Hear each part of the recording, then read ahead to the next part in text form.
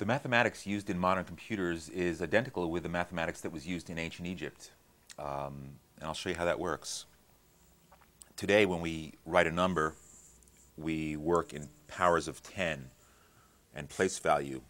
We have the ones, the tens, the hundreds columns. So if you wanted to say 472, we're really saying four 100s, seven tens, plus two ones.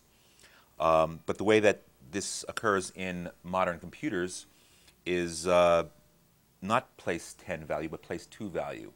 So the, their powers are 1s, 2s, 4s, 8s, 16s, and so forth.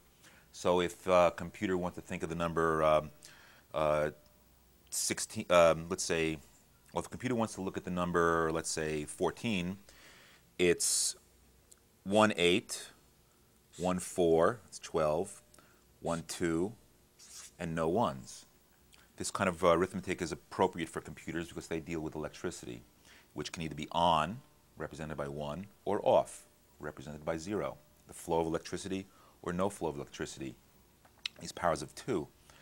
Now the way the ancient Egyptians developed this can be seen in the way that they would multiply now, neither the ancient Egyptians nor the modern computers use a times table. Times table is something we teach children in school and it has to be memorized. But it's really inappropriate for a computer. And I'll show you how, uh, for example, that works.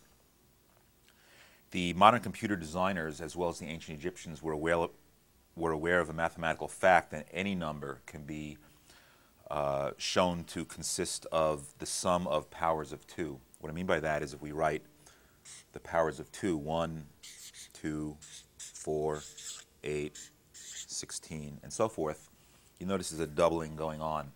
And any number can be represented by the sum of these. For example, if we wanted to choose the number 17, it's 16 plus 1. So I can count 1, 2, 1 plus 2 make 3, 4, 1 plus 4 make 5, 2 plus 4 make 6, 1 plus 2 plus 4 make 7, 8, and so forth. And so any number can be represented by this, the sum of elements of this sequence. So if I wanted to multiply two numbers, let's say we wanted to multiply 17 by 25. In order to multiply the way the Egyptians did and the way that computers do, all you have to know is how to double numbers like this and how to add two numbers together. No multiplication table needed to be memorized. So 17 20 times 25, I've identified the elements of 17 as 1 plus 16. And in this column, I write the number 25, and I just keep doubling it. Twice 25 is 50, twice that, 100, twice that, 200, twice that, 400. So in order to know the product of 17 times 25, we just have to look at which numbers are circled over here and circle the corresponding ones over here and add them together. So 17 times 25 is 400 plus 25, or 425. It's that simple. No memorization, no times table, no tears in the third grade about this.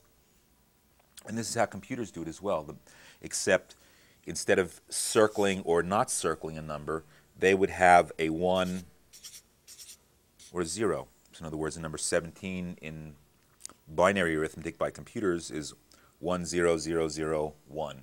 Or electricity, no, no, no, and electricity. And that will give us the sum. And that's how this works.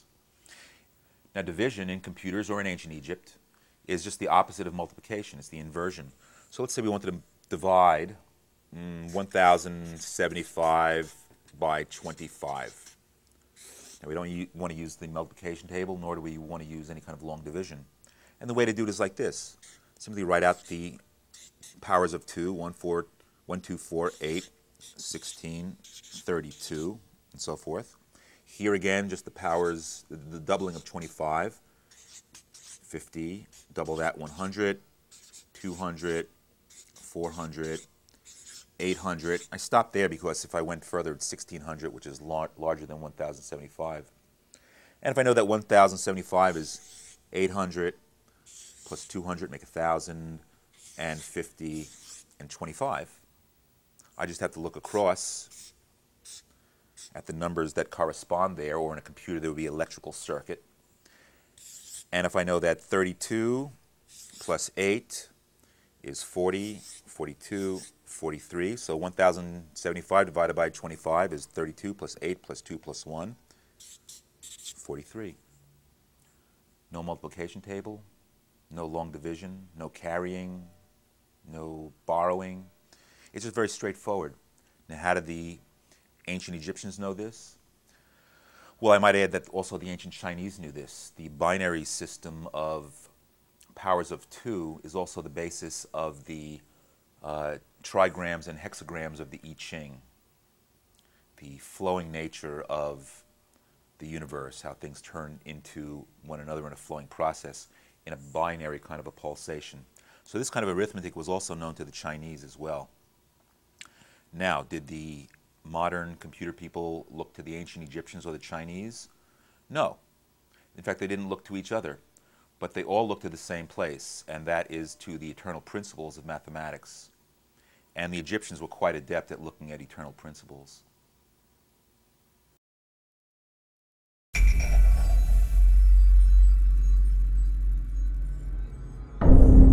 Internubian.com, the African Global Village.